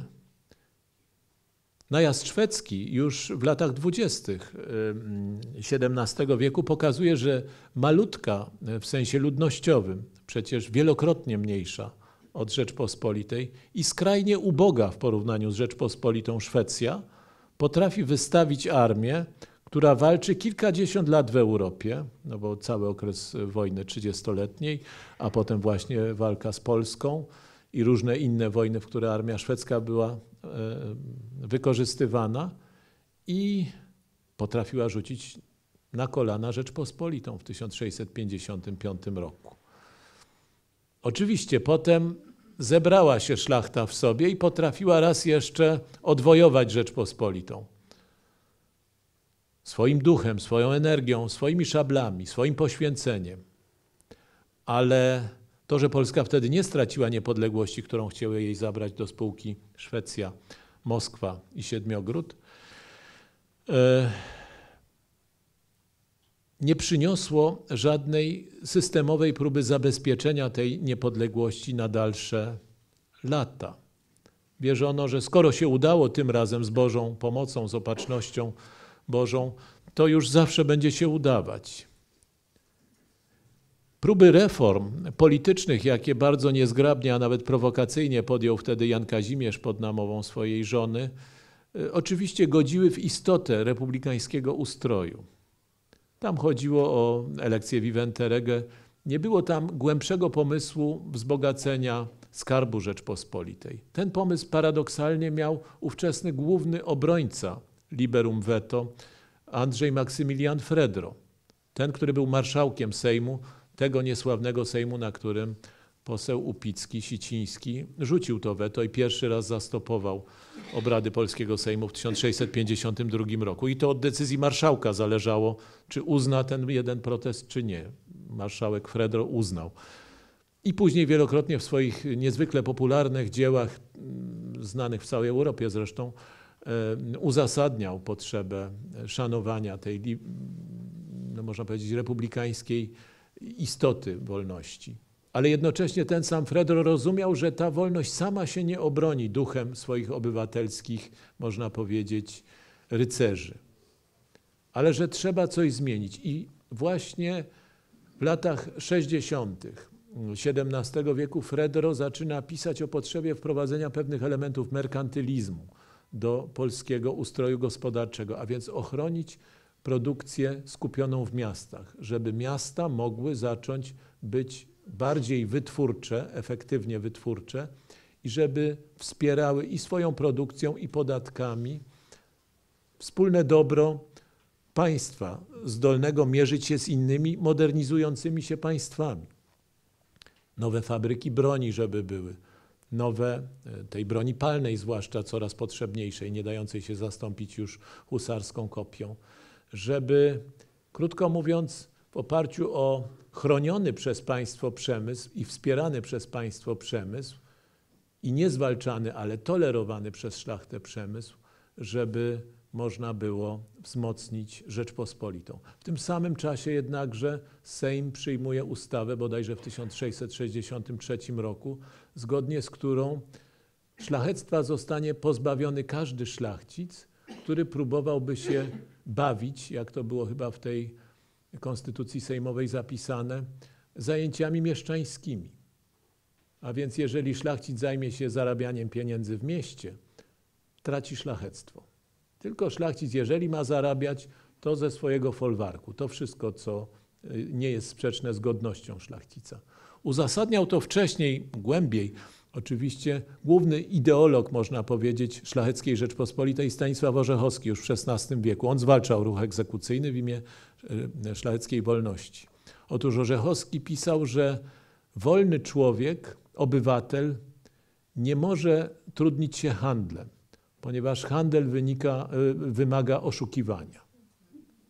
Więc no jest to jakieś uzasadnienie, to sięga aż powiedziałbym no, myśli Arystotelesa, tego, że no jakby każdy typ działalności tworzy typ człowieka, prawda? Więc wolny obywatel, który stroni od oszustwa i rozważa rację w sposób sprawiedliwy, no nie może być jak handlarz, który zachwala swój towar E, i e, przecenia go, prawda, jednocześnie podkreślając, że towar sąsiada jest gorszy, prawda, niezależnie od tego, czy to prawda, czy nie. E, a więc no, były jakby ideowe, głęboko zakorzenione w myśli szlacheckiej, nie powiem w mentalności pogardliwie, w myśli szlacheckiej, w głębokich przemyśleniach, że pogodzenie zasad nowoczesności mierzonej sukcesem handlowym z etosem republikanina, szlachcica jest trudne, a może niemożliwe. To wciąż był dylemat, wielki dylemat. O tym, że ten dylemat trzeba było rozwiązać, przekonają wydarzenia XVIII wieku. Wojna północna, która, druga wojna północna, lata 1700-1721, kiedy okaże się, że Rzeczpospolita nie jest już w stanie się obronić przed nową armią szwedzką, że w roli obrońcy Rzeczpospolitej w cudzysłowie występuje car Piotr I i staje się jej protektorem. Narzuca jej prawa, od Sejmu Niemego poczynając, który zagwarantował minimalną armię. To nie wiem czy. E, to właśnie wtedy staje się stopniowo jasne, coś o czym już parokrotnie miałem okazję z Państwem omawiać, że obok pojęcia indywidualnej wolności, tej obywatelskiej wolności, jest pojęcie zbiorowej niepodległości. Niepodległości państwa jako całości. I co będzie z indywidualną wolnością, kiedy zabraknie tego państwa, którego szlachta się skądinąd boi, przed którym przed którego wzmocnieniem protestuje, żeby król nie był zbyt mocny, żeby nie ograniczył indywidualnej wolności. To pytanie staje jasno już od momentu, kiedy caryca Anna Iwanowna narzuca po prostu siłą trzema korpusami wojskowymi nowego króla Polsce Augusta III. Polacy wybrali Stanisława Leszczyńskiego, ale caryca chce kogoś innego, więc przysyła trzy korpusy i te narzucają Augusta III. No wtedy już jest jasne, że jest coś takiego jak niepodległość, tylko że Polska już jej nie ma. Najczęściej uświadamiamy sobie wartość czegoś, tak jak pisał to Adam Mickiewicz w momencie, kiedy tracimy to, co tak cenne jak ojczyznę, czy niepodległość w tym przypadku. I wtedy przychodzi no jakby stopniowo ten nurt politycznych reform od y, y, Stanisława Konarskiego się datujących, który pierwszy sformułował tę myśl o znaczeniu niepodległości, ale pojawiają się także próby radzenia sobie no właśnie z owym niedorozwojem ekonomicznym, słabością ekonomiczną, ale bardzo trudno jest już w XVIII wieku wyjść z tego, powiedziałbym, korkociągu, w który Rzeczpospolita w sensie gospodarczym wpadła wcześniej. Bo o ile w XVII wieku nastąpiło załamanie handlu zbożem, gorsze warunki, prawda, E, no, To jest, że tak powiem, rozwój cyklu gospodarczego na Zachodzie sprawił, że uzależniona od niego gospodarka polska musiała znieść dużo niższe, gorsze ceny w XVII wieku, ale w XVIII wieku jakby łagodzi to przeświadczenie o kryzysie niepodległości, znowu skok w górę cen żywności. Znowu się bardzo opłaca eksport polskiego zboża i za króla Sasa jedz, pij i popuszczaj pasa. To y, powiedzenie odzwierciedla nastroje ówczesne. Jest lepiej znowu dostajemy za nasze zboże duże pieniądze. Można kupić za to więcej węgrzyna, można kupić za to więcej luksusowych towarów z Norymbergi e, czy jakiegoś delikatnego sukna, wszystko jedno ze wschodu czy z zachodu.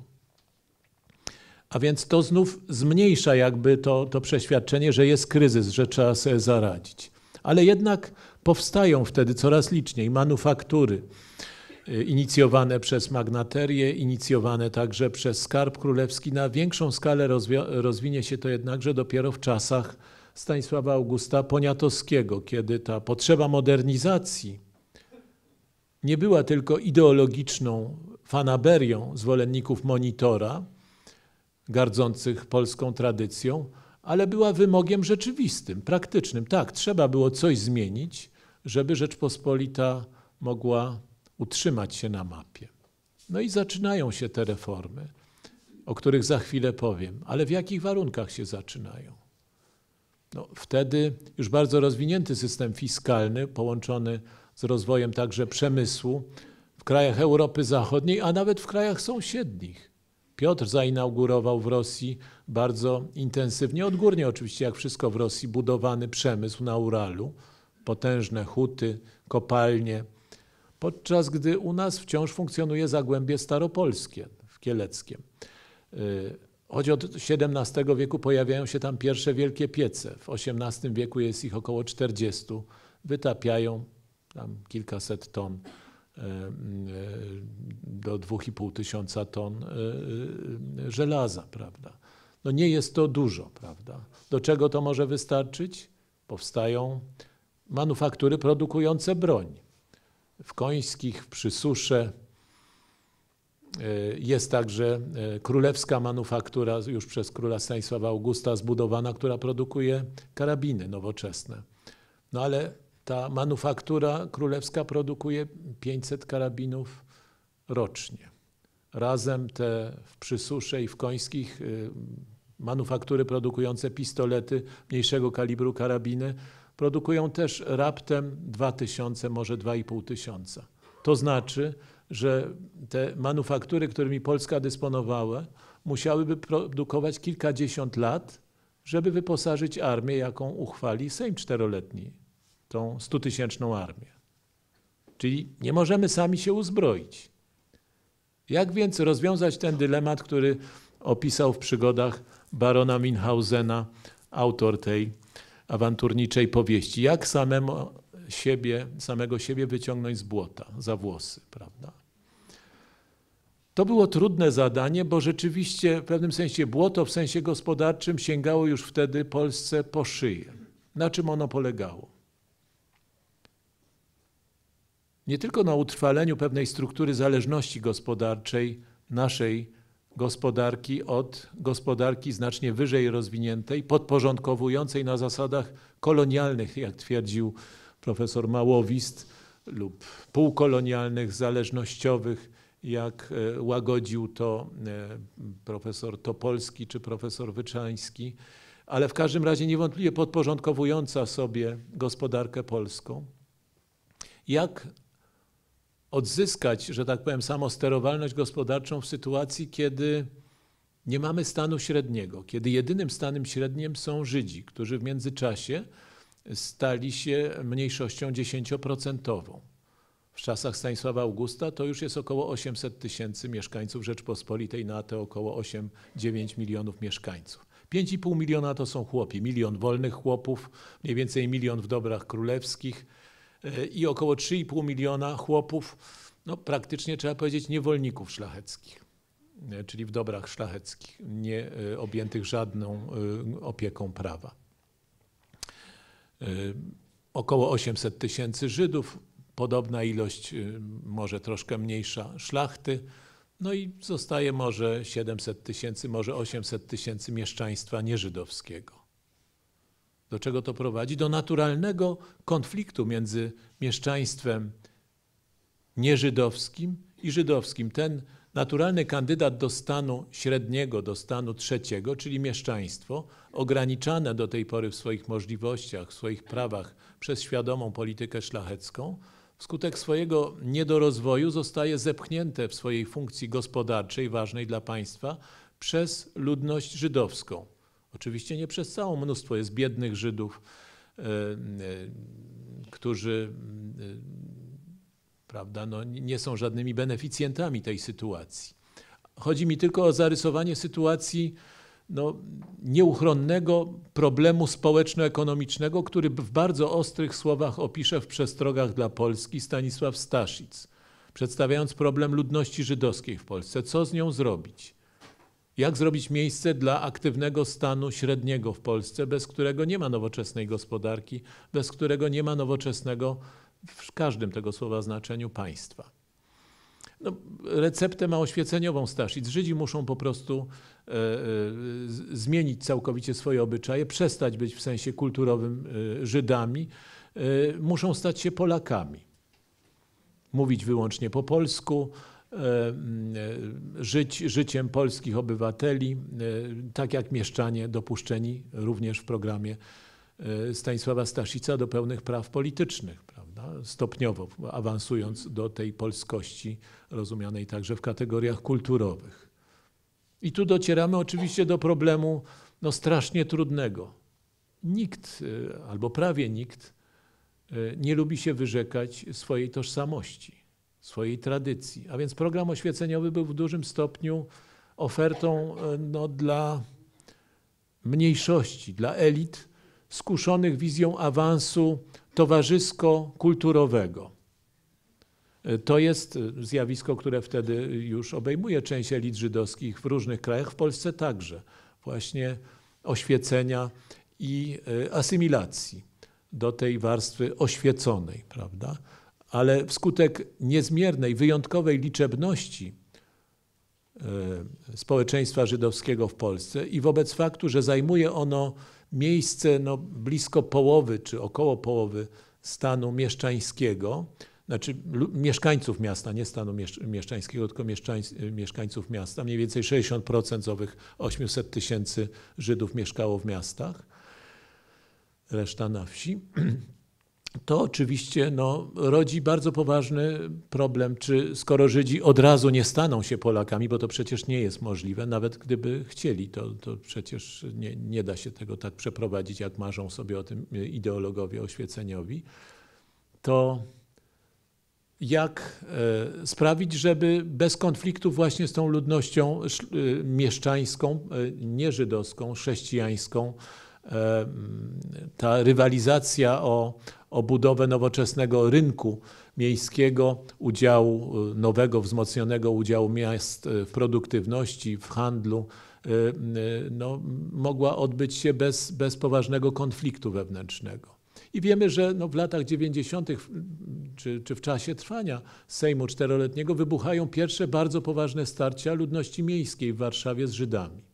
To są takie konflikty społeczne. One znów nie mają nic wspólnego z jakimś wyssanym z mlekiem matki antysemityzmem, tylko z realnym problemem społecznym wywołanym skalą obecności żydowskiej i roli społeczno-ekonomicznej, jaką Żydzi zajęli w systemie gospodarczym Rzeczpospolitej, zajmując to miejsce, jakie w innych krajach zajmował stan średni. Jak rozwiązać ten problem, tę kwadraturę koła? Rzeczpospolita pierwsza nie umiała tego problemu rozwiązać. Pozostaje on w wieku XIX problemem, z którym będzie się mierzyło już nie w interesie Polski, ale w interesie swoim własnym każde z państw zaborczych. I to jest także część no właśnie tych znaków zapytania, które tradycji Rzeczpospolitej postawić musimy. Czy można było inaczej? Jak? Czy na zasadzie niewpuszczania Żydów na teren Polski, tak jak robiły to inne kraje, które ich wypędzały? Czy na zasadzie wzmocnienia po prostu, nie negatywnej, ale pozytywnej, wzmacniania własnego mieszczaństwa wcześniej, kiedy była na to pora, by mogło ono stać się owym potrzebnym stanem średnim, wzmacniającym możliwości finansowe Rzeczpospolitej, konieczne do sprostania warunków konkurencji międzyimperialnej w XVIII wieku. To są pytania, które postawić na pewno musimy. Skalę problemu braku własnego kapitału odzwierciedlał w schyłku Rzeczpospolitej nie tylko wspomniana przeze mnie dysproporcja między możliwościami produkcyjnymi fabryk broni, nazwijmy to tak, tych kilku manufaktur, a potrzebami armii zadeklarowanej jako konieczna, jako potrzebna. Ogłoszono aukcję do 100 tysięcy, stworzono armię 50-tysięczną, to było możliwe i dobrze, no ale nie wystarczyło własnych karabinów i pistoletów, żeby ją wyposażyć. Trzeba było jeszcze kupować. A w międzyczasie Prusy schwytały za gardło Rzeczpospolitą, prawda, narzucając jej drakońskie cła po pierwszym zaborze, cła na handel przez Wisłę. Rzeczpospolita próbuje sobie radzić. To jest ważne, no, te znaki też ożywienia gospodarczego wtedy. Pamiętajmy, budowa kanału królewskiego łączącego Bóg z Niemnem i, e, e, i kanału Ogińskiego, Niemen z Dniestrem. Razem ten system pozwala skierować eksport polskiego zboża nie na północ, ale na południe, przez otwartą przez Rosję dla polskiego zboża Odessę. Rosja akurat narzuciła traktat handlowy znacznie łagodniejszy Polsce po pierwszym rozbiorze. Tak było. No też nie bardzo korzystny, ale no w porównaniu z tym pruskim e, dużo mniej drakoński. I właśnie wtedy zaczyna się eksport polskiego zboża przez Morze Czarne po zdobyciu portów tam przez Rosję e, na wojnie z Turcją. E, skoro Polska traci sól w Wieliczce i Bochni, bo już w pierwszym rozbiorze zabierają ją Austriacy, no uruchomiony jest Ciechocinek na przykład, uruchomione są inne warzelnie soli. No, Polska radzi sobie naprawdę całkiem nieźle w tych dramatycznych warunkach po pierwszym rozbiorze z nadrobieniem jakby e, strat wynikających z utraty bardzo ważnych gospodarczo ziem. Ale nie może rozwiązać już tych problemów, które, na których rozwiązanie czas był wcześniej, by Rzeczpospolita mogła stanąć do walki z zagrażającymi jej imperiami. Te problemy sięgają tak głęboko jak wiek XVI, kiedy po Zaborowskim, wspomniałem go, Wkrótce, kilkanaście lat później, w 1519 roku, Mikołaj Kopernik pisze o potrzebie wprowadzenia jednej monety, jednej mennicy i e, stabilnego systemu, który znów się rozchmiał w międzyczasie. Kilka lat później Kopernik napisze swoje właśnie no, główne dzieło ekonomiczne tym zagadnieniom poświęcone. E, I rzeczywiście no, ten problem, skąd wziąć kruszec na tę monetę, skąd wziąć skarb, y, z którego będziemy tworzyć ten stabilny system ekonomiczny, którego krwiobiegiem jest własna waluta. Y, Zygmunt August prowadzi wreszcie złotego polskiego, czyli faktycznie srebrną monetę, bitą od 1564 roku y, o zawartości srebra mniej więcej 25 gramów. E, e, wtedy obowiązywała to jako ciekawostkę, mogę podać, podwójna nazwa, złoty albo talar. A skąd talar? Od miejscowości w Czechach, e, Joachimstal, czyli no, Dolina Joachima, gdzie zaczęto no właśnie eksploatować złoża srebra, produkować ten nowy, że tak powiem, rodzaj pieniądza, który od tej pory nazwano talerem od Tal Dolina właśnie, ta czeska dolina. I stąd bierze się nazwa dzisiaj powszechnie znana, dolar.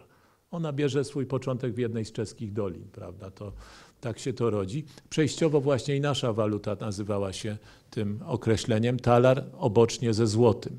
Wprowadzono później także e, przepraszam, czerwonego złotego, czyli e, no, rzeczywiście złotego o zawartości chyba 3,5 grama złota ale tych pieniędzy wciąż było za mało. E, tej waluty było za mało, dlatego dzisiaj stanowi ona pewnego rodzaju rzadkość aukcyjną e, i dzisiaj jest wiele warta, ale nie wystarczyła do pokrycia potrzeb do ustabilizowania, uniezależnienia systemu finansowego Polski od sąsiadów, od psujących monetę e, polską, fałszywymi, zalewającymi rynek polski przedsięwzięć władców Prus, od grabieży oczywiście, bo o tym nie wspomniałem, ale wszyscy to pamiętamy, od katastrofalnych skutków, jakie dla gospodarki polskiej e, niosły ze sobą wojny w XVII wieku, najazdy systematyczne, najazdy tatarskie, a przede wszystkim potop szwedzki, druga wojna północna i kolejne wojny przetaczające się przez Polskę, choć Polska nie była ich uczestnikiem w XVIII wieku, jak wojna siedmioletnia choćby. To oczywiście także miało fatalny wpływ na stan polskiej gospodarki, ale z czego wynikało? Bo Polska nie, nie była w stanie się obronić. Nie miała dość sił, żeby miała dość sił, żeby powstać z martwych w 1656-7 roku, ale nie miała dość sił, żeby uchronić kraj przed absolutnym zniszczeniem, jakie przyniósł potop, a później druga wojna północna. A więc to pokazywało także, że warto skądś wziąć te pieniądze, żeby stworzyć armię skuteczną. Pod koniec XVIII wieku już wszyscy światli obywatele to wiedzieli, że trzeba, albo prawie wszyscy. Niektórzy pozostali wierni ideałom Targowicy oczywiście. Otóż symbolem braku tego kapitału, tych nierozwiązanych problemów własnych, będzie los domu bankierskiego Teperów, największego, można powiedzieć, przedsięwzięcia finansowego w XVIII-wiecznej Polsce, wprowadzonego tu przez szkockiego emigranta Fergusona Tepera e, w czasach Augusta I, Augusta II, przepraszam, e, a e, przez jego siostrzeńca kontynuowanego aż do czasów Stanisława Augusta Poniatowskiego. Ten największy dom bankowy finansował i króla, i mnóstwo magnatów, ale w decydującym momencie, w 1792 roku, ten wielki dom bankowy, jak to zwykle w świecie finansów, miał nad sobą jeszcze większy dom e, finansowy w Berlinie, Lewiego, e, od którego chciał pożyczyć pieniądze, no żeby zachować płynność finansową na rozmaite pożyczki dla państwa polskiego, dla e, rozmaitych prywatnych pożyczkobiorców w Polsce. I okazało się, że Berlin, berliński, prywatny teoretycznie przedsiębiorca finansowy odmawia tego kredytu Teperowi i zawalił się cały system kredytowania i finansowania Rzeczpospolitej. Rzeczpospolita stała się państwem upadłym w grudniu 1792 roku. To nie wiązało się tylko z wojną z Rosją, to wiązało się z katastrofą systemu finansowego, wywołanego przez jedną decyzję bankowca z Berlina. Czy była ona podyktowana przez króla e, niemieckiego, to zupełnie nie jest przedmiotem moich rozważań. E, ważne jest to, że Polska nie mogła na to w żaden sposób wpłynąć ani zareagować. Po prostu musiała ulec faktowi, że nie może zapobiec katastrofie własnych finansów krytycznym dla losów państwa przed drugim rozbiorem momencie.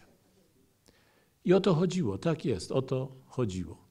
I to pokazuje właśnie, jak dramatyczne były wybory i o jakich jednak chyba zaniedbaniach możemy powiedzieć z perspektywy czasu, kiedy patrzymy na ekonomiczne aspekty wielkości Rzeczpospolitej, bo Rzeczpospolita była pod mnóstwem względów czymś wielkim, wyjątkowym, godnym najwyższego podziwu.